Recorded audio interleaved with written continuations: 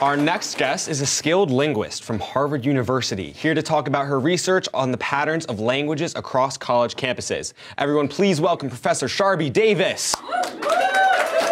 Hi, AJ, for having me. I've been a professor of Lang at HU for like 40 years ATP.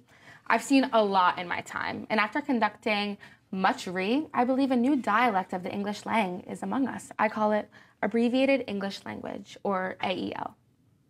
Okay, that was a lot to take in. Um, how do you even know what TYSM or ATP mean? You're like 80. I'm DTF with the kids.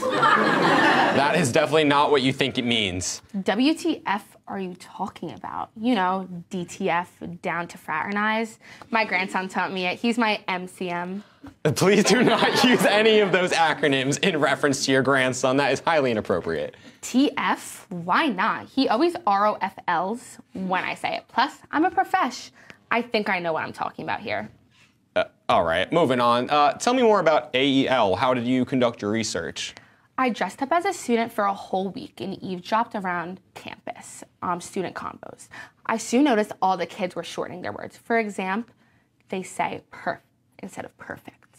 Instead of saying okay, they say KK. Instead of saying I'm going to find out, they say I'm GTFO. The abbreviate lit everything. I thought this is a maze, as they say, and had to find out more TBH.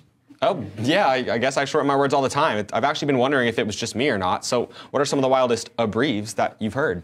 Now you're getting the HOI. Well, there's this one song all the youngins listen to by T Swift, IYK, YK.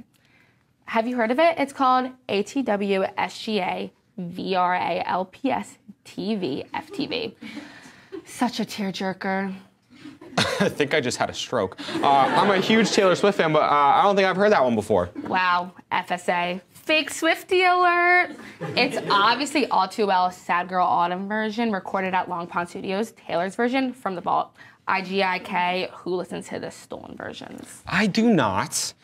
Then I was hanging out at the involvement fair by the college Republicans. They were talking about something called the NRA. When I looked up what it meant, my tum tum started grumbling. Uh, your tum tum, I'm sorry, do you find guns like appetizing or something? Guns? What do you think the NRA stands for? It's AVI, the National Restaurant Association. I booked a ticket to their convention next month. I can't wait. I would not be telling people that if I were you. Don't pretend you don't have FOMO. Wait, I just realized your name is lit in abbreviation. What does AJ stand for? Andrew Jackson, Angelina Jolie, Aunt Jemima?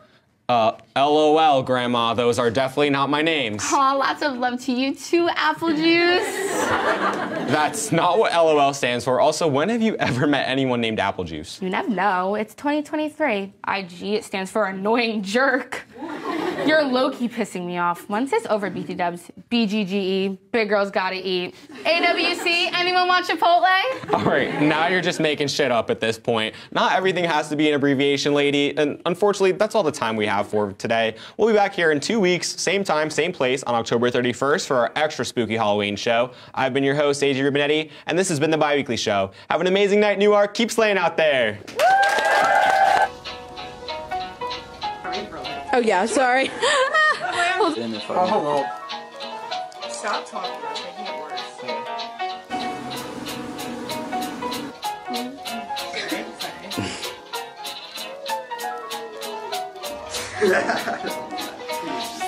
Good. See you later, bitches.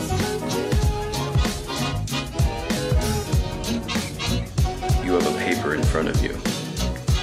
Fuck. What is that for? Oh, fuck. okay. I fucked that up.